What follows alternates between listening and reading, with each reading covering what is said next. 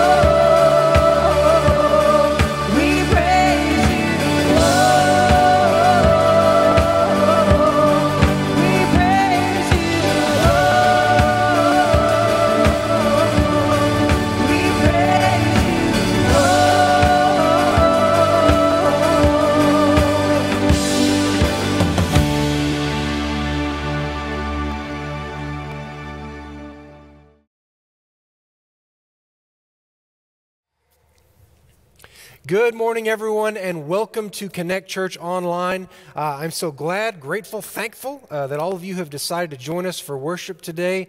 I am blessed uh, because you've chosen to worship with us today. Uh, as we jump in today, uh, if you haven't already, I encourage you to take a moment and say hello in the comments section of the video, uh, whatever platform you're worshiping with us online. it's always a good blessing for others to know that you are worshiping here with us. today, we are going to continue our sermon series called Be Still. Uh, as you know, about a year ago, the world stopped, and many of us who like to move and to be busy with lots of things going on had to slow down. Uh, we spend a lot more time uh, alone or, or with just our close family. We spend a lot more time uh, in our homes, and a lot less time being busy, going to things, going places, doing stuff. And for many people, that was a very challenging thing. Uh, it, it took a, a, major toll on, on mental health of millions of people around the world. And I found it kind of curious because while we are creatures, human beings, created to be in community, um, we, as followers of Jesus Christ, are also supposed to be a people who have the spiritual skill to be in silence with the Lord. We are supposed to be able to go off into a silent place and encounter God and be blessed by that and learn from that and be healed by that. And so I, I got to thinking about it, and I think uh, for the last I don't know, 6,000 years, uh, human beings who wanted to encounter God uh, did it mostly by withdrawing, by going off into a silent place and encountering God there.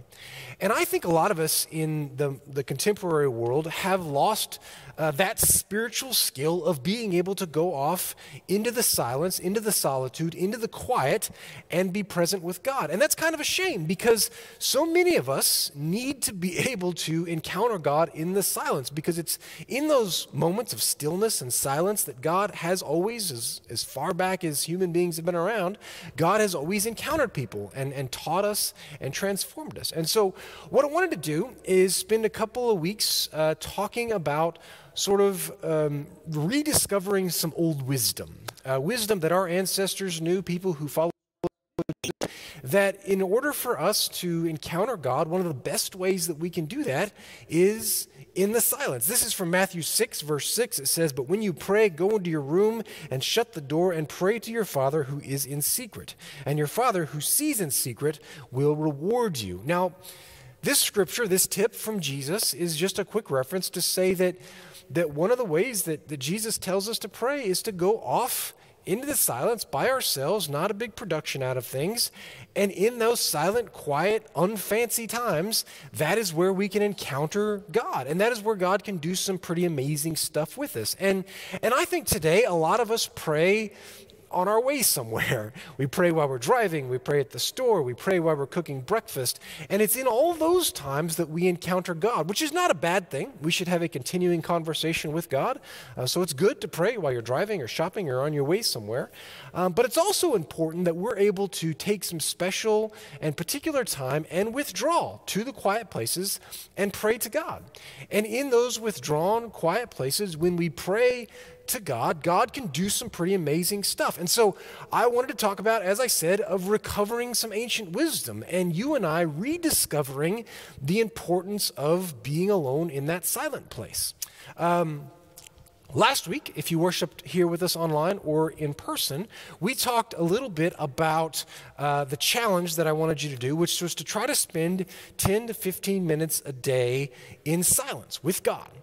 And uh, I hope you were able to do that, or at least uh, do it a few times. And in those 10 to 15 minutes a day that you spent uh, in silence with God, for those of you who, who did it, I would absolutely love to hear about what that experience was for you. If it was great, if it was torture, uh, if it was peaceful, if it was anxiety provoking, um, what you learned, what you didn't learn. I would love to hear from that uh, from you. If you don't see me in person, uh, if you could email me, adam at connectumc.org, or send me a message or something, I'd love to hear about that journey and kind of where you are are. It's just a, a blessing to me to hear kind of how those things are going on. So, anyway, if you could send me that, it will help me understand because I know that starting a new habit, especially if it's not something that you've done before, like being silent with the Lord, can be a little bit challenging. And, and I know, especially being in silence with the Lord, the way the world works today, is that it takes, frankly, practice, discipline, and courage to spend silent time with God. If sitting in the silence with God in times of prayer is not something that you've ever done before, then it's going to be a little bit hard to get started. Uh, today, as we talk about the moments of silence, the primary thing that I want to talk about is times of silent prayer. Um, when we go off alone in the silence, one of the best ways that we can commune with God is prayer. And so, uh, this sermon series is about being still uh, in the presence of God. And today, in particular, we're going to talk about being still and praying with God. Now, for those of you who have ever tried this before, if you did it this week or some other time, uh, tried to sit down in silence for 10 to 15 minutes and pray, you may have found pretty quickly that it was hard to turn off your mind. Your brain was racing. You began immediately to think about all the different things that you had to do or wanted to do. You began to think about the worries that you may have had, um, the list that you were uh, going to get going on as soon as you got up. Maybe you were daydreaming about uh, all kinds of things that you didn't find particularly helpful. So, first, I want to say this if that happened, you did not fail. Um, and you shouldn't be discouraged. Uh, like many other things, it takes, as I said a moment ago, it takes it takes practice uh, to be able to do this in a way uh, that's a blessing. I uh, coach my my son's baseball team, and this year we have a whole bunch of, of kids that have never played baseball before, and they're all doing great now. But when we first started the season and began to practice, uh, many of the kids who never had played before couldn't do basic baseball things: feel a ground ball, catch a ball, hit a ball, these sorts of things. The kids who have played for a couple years, they were all a little bit more advanced at some of these basic skills, obviously, because they had done it hundreds, if not thousands of times more. Just like anything, it takes practice to learn how to do something. And spending silent time with God, believe it or not, is a skill that can be learned. It takes a little bit of practice and a little bit of perseverance. The kids who came out for baseball a couple of years ago, uh, who stuck with it, who continue to practice, have been blessed uh, by their ability to do some things now. And spiritually, we sometimes think that we don't have to practice. We should just be able to sit down, spend silent time with God, and it's great, and that's how it works. And it's, it's just not. Um, silent time with God is a spiritual skill that must be practiced. So if you tried it this week and you sat down and all you could think about was all of the different things that you had to go get doing, and you said, This is silly, this is not my thing, I'm not doing this anymore, I encourage you to not give up that easily. Just like I tell the little boys that are learning to field ground balls, it takes time, it takes practice. Stick with it and you'll get there. So I'm going to tell you, spiritually, Christian, that in order for you to be uh, able to do this very important skill of spending silent time in prayer with God, um, it's going to take some practice. It also takes some courage, just like learning to do anything new. Uh, it's going to take some time of, of trial and error and failure and success. Uh, sitting in silence can be particularly scary because you never know what's going on uh, up here. You may have to deal with or think about things that you normally try to ignore when you're in the silence. And so I just encourage you to, to persevere uh, and to find some courage and know that this is a spiritual skill that takes practice. Okay? Now, even though it can be hard, and even though it takes practice, I want you to know how important it is to spend silent time in prayer with God. You see, spending alone time with God must be made our priority. Mark chapter 1 uh, describes to us a day that Jesus had. And in Mark chapter 1, Jesus had a, a really busy day. It started with him uh, going to the synagogue at Capernaum and teaching. And he taught with great authority. And then a demon possessed man comes up and, and confronts him. And, and Jesus uh, drives out this demon possessed man. And then he goes uh, to the home of, of, of uh, Andrew and Peter. And he goes to their home and he meets with their mother and he's teaching. And then many people come there and he's healing and teaching and, and all this all day long. And so, and so Jesus has this, this amazingly busy day, right? Any of those things, healing and teaching and driving out demons and all that, would be enough for anybody to do in a single day. Like, how was your day? Woo, it was busy. I had to drive out demons. Jesus did it multiple times that day. He was teaching, he was eating, he was healing, he was doing all of this stuff. And at the end of the day, in Mark chapter 1, uh, it says this, or the next day, it says that very early in the morning, while it was still dark, Jesus got up, left the house, and went off to a solitary place where he prayed.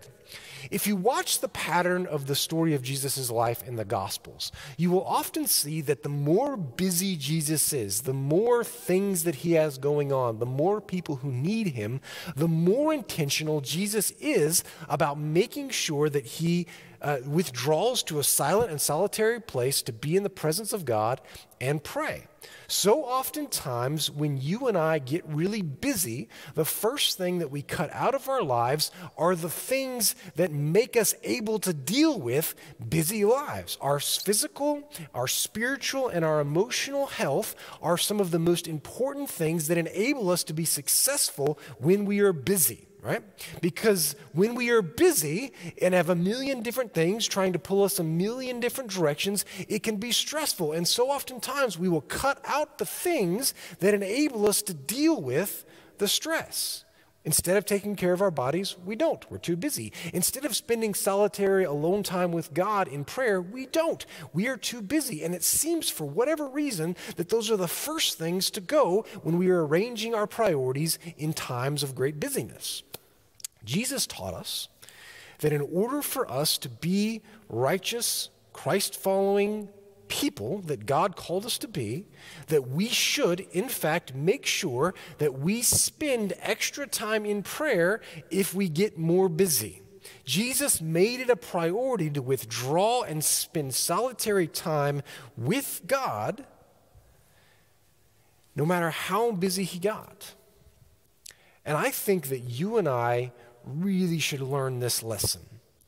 The busier we get, the more important it is for us to spend solitary time with God in prayer. So, I just wanted to uh, pitch to you, uh, or present to you, I guess, try to talk you into making a silent time with God in prayer a priority. And so, for the rest of today, uh, I want to talk a little bit practically um, about how to do that. About here's some steps that we can take to make sure that you can effectively spend silent time with God in prayer. And we're going to start uh, first by understanding this that silence is not the lack of noise, but the presence of God. Uh, there's a guy in the Old Testament named Elijah, and he is a great example of someone who knew how to connect with God and be present with God. Uh, anyways, there, there's this story in 1 Kings of how Elijah uh, connected with Jesus. So I'm going to read that. It's 1 Kings 19. He says, Go out and stand on the mountain before the Lord, for the Lord is about to pass by. Now there was a great wind, so strong that it was splitting mountains and breaking rocks into pieces before the Lord, but the Lord was not in the wind. And after the wind, an earthquake, but the Lord was not in the earthquake.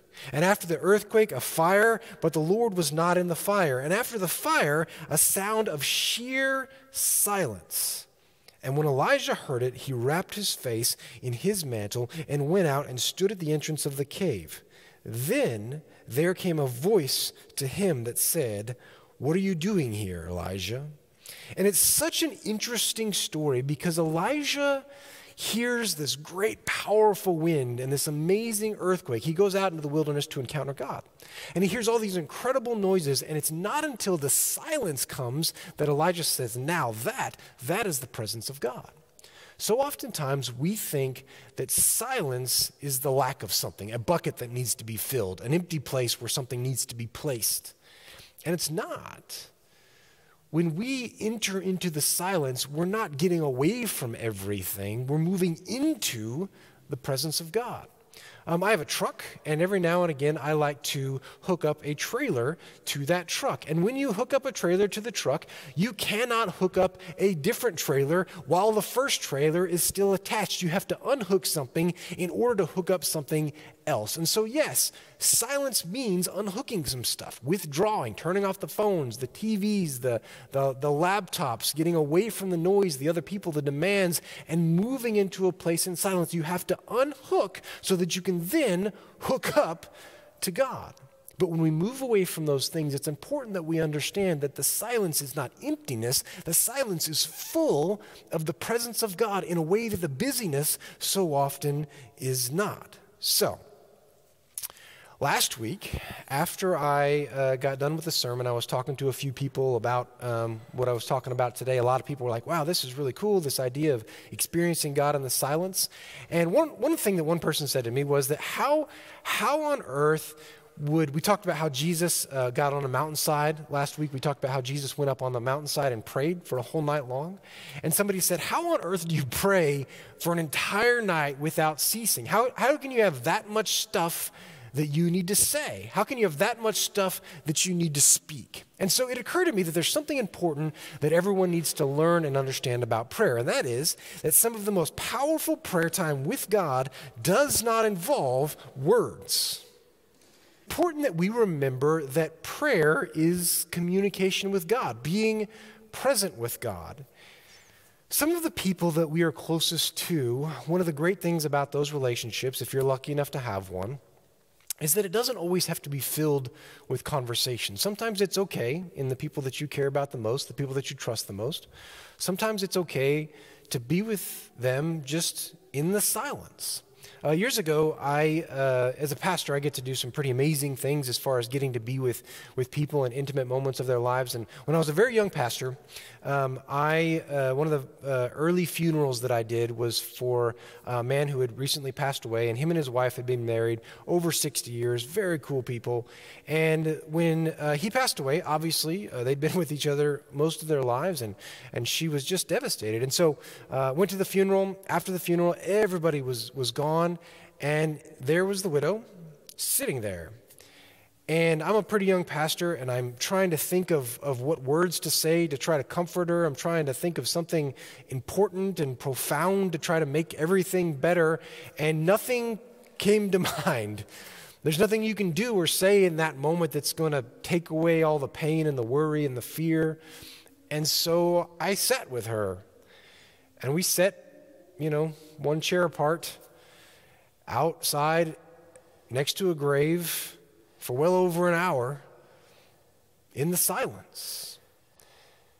And in that silence, in that time, what I learned is that so much of what we can do to be present with God doesn't involve words. So much of what we can do to be present with other people doesn't involve words. Sometimes there's things that you feel, things that you experience that, that can't quite be described in words just right.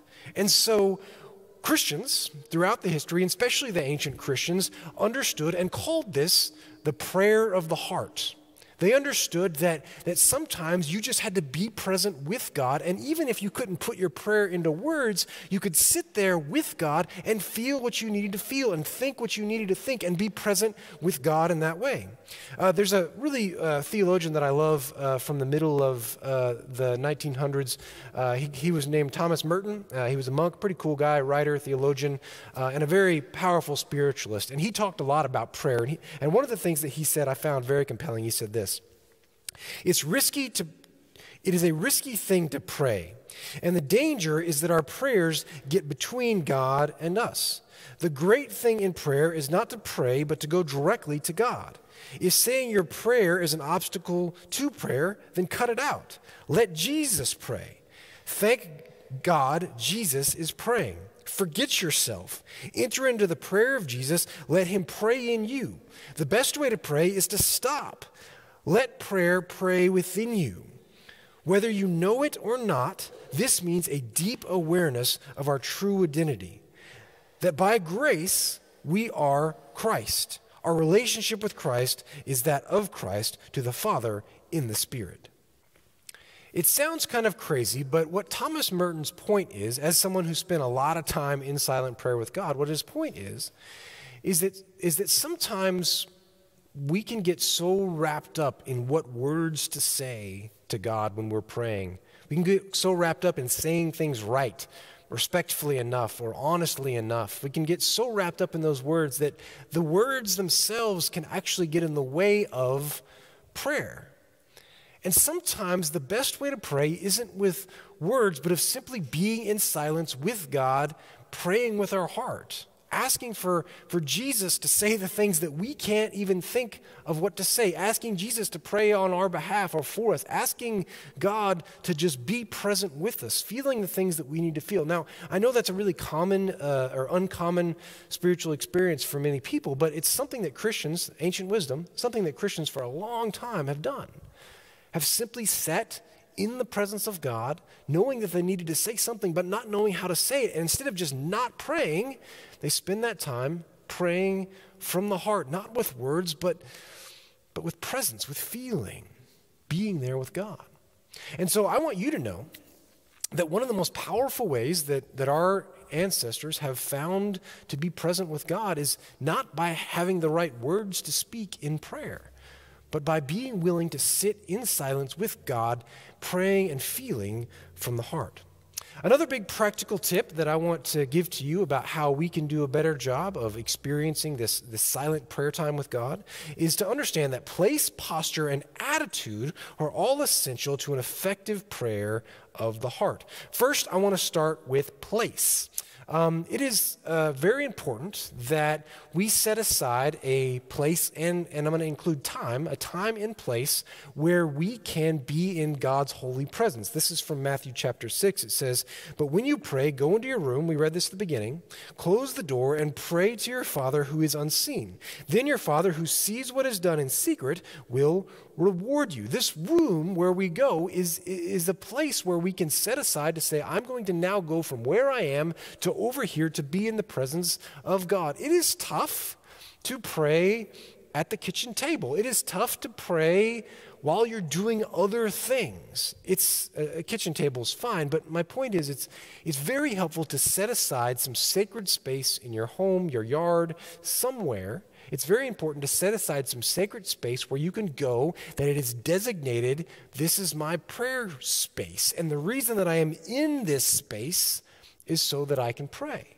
And Christians throughout history have found that by setting aside special space and special time, they can do a better job praying with God. Acts 3 1 says, One day Peter and John were going up to the temple at the time of prayer. Peter and John went to the temple to pray. Psalm 119 says, Seven times a day I praise you for your righteous laws. My point is, is that setting aside time and place can be a very helpful way. So, if you're having a hard time with this spiritual practice, learning how to pray in silence, I encourage you to take a little bit of, of a lead from our ancient Christians and, and set aside a time and place where you can go and be silent with the Lord, and that is going to be very helpful for you. The next thing that I mentioned is posture.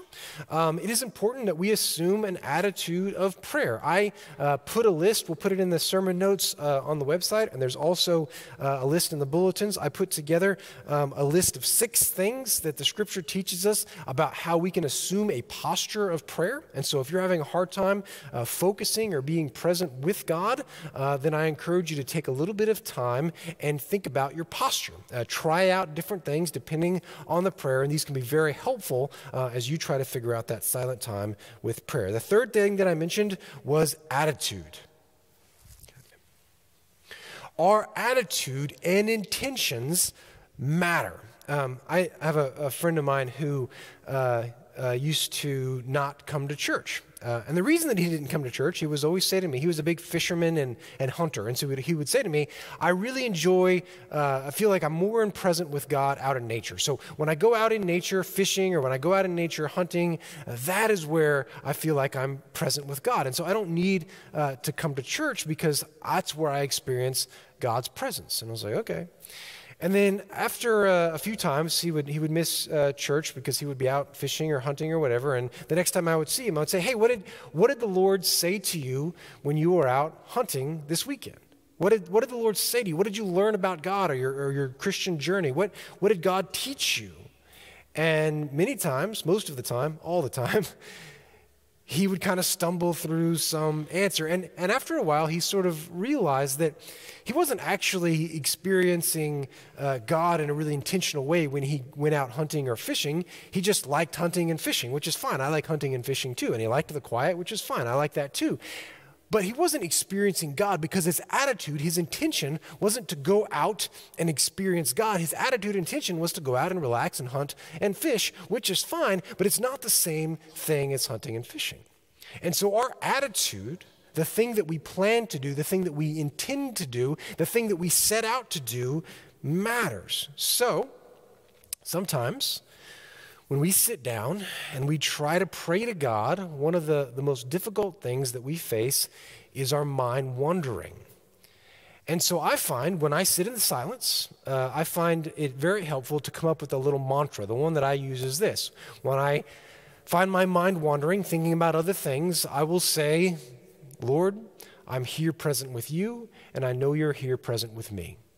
And that'll sort of bring me back to center and remind me that I'm here in this moment, in this place, with an attitude of being present with God. And so if God is, is speaking to me uh, and has something to say to me, then I'm ready to receive it. And if I uh, can present something to God, then I'm ready to do it instead of uh, my mind wandering about, you know, whatever else that I'm thinking about. And I don't go to a place and a time with the attitude of I'm going to get some fishing and maybe some Jesus while I'm out here. What I do is when I'm ready to encounter God, I go and do that, and that alone. And by repeating that mantra, by setting aside time and place, by assuming a posture and an attitude of prayer, I find it much easier to spend that intentional time with God in silence. So, if you, last, last week, tried to spend some silent prayer time with God and you just couldn't figure it out, I encourage you uh, to think about posture, place, um, and attitude.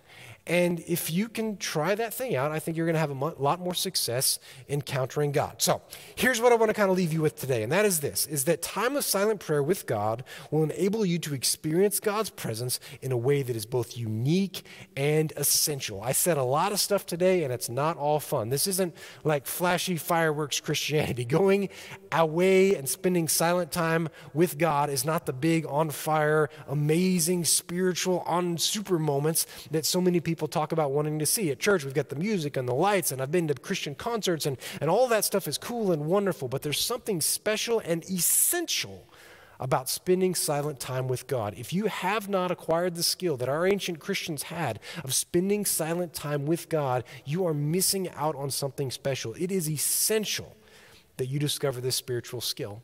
And so I encourage you uh, this week uh, to try again. Uh, instead of just spending 10 to 15 minutes, this is your new homework if you're, if you're up for a challenge. Instead of spending just 10 to 15 minutes alone in silence with God, try to spend 10 to 15 minutes in silent prayer time with God. Don't bring your Bible, don't bring music, don't bring anything to read or to look at. You and God in silence in, in a prayerful conversation either speaking the words that you need to speak or having a moment of prayer of the heart. Find a place, a time, attitude, posture that's appropriate, and spend time with the Lord. And I bet you that you will move down that road and be blessed. Now, some of you are going to find this, you know, this, wow, that was a revelation. That was great. I'm able to do this now, and this is great. Uh, remember, there's going to be good days and bad days. I talked about the baseball team off the top. Some days when you play baseball, it goes great. Other days it doesn't. So there'll be days of success. Uh, there'll be days that it's a little more hard, and that's okay. That's a part of the process. Uh, but I encourage you to continue to practice this, to learn this spiritual skill because skill, because it's essential. It's valuable, it's important, and it's something that God can bless you at. So I encourage you, as I said, to try this week to spend some special time in an attitude of silent prayer with God, and let's see what amazing things God does for you. In the name of the Father, and the Son, and the Holy Spirit. Amen.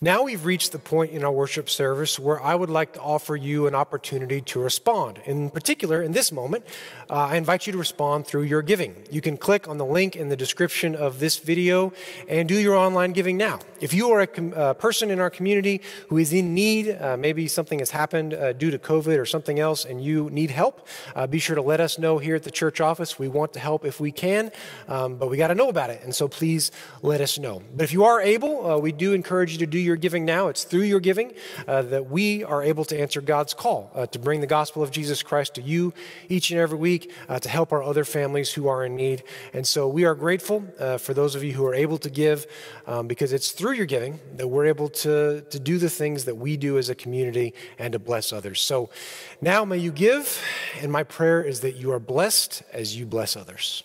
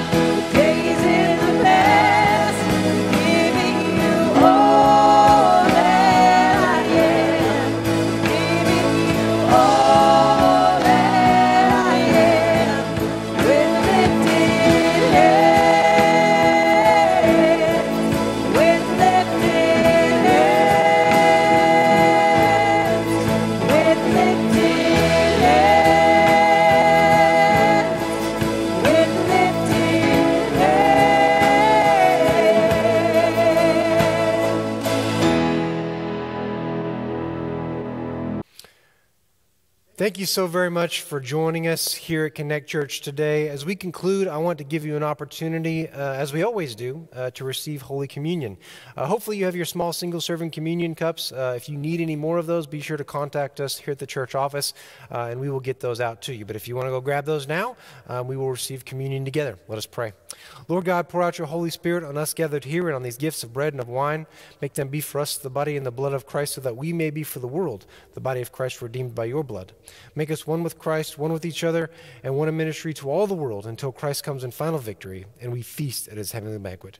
Through your Son, Jesus Christ, with your Holy Spirit and in your holy church, all honor and glory is yours now and forever, Almighty Father. Amen.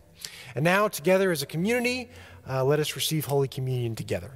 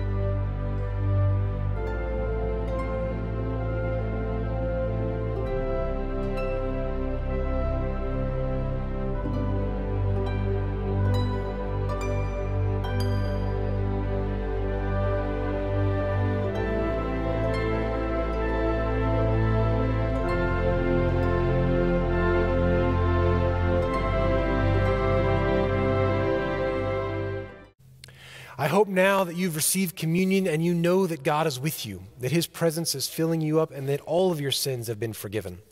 And as you go from this place today, may you go in God's peace. May you find Him in the silence. May you rediscover the ancient Christian wisdom of silent prayer with God. And may you be blessed knowing that He's with you. In the name of the Father, and the Son, and the Holy Spirit, go in peace. Amen.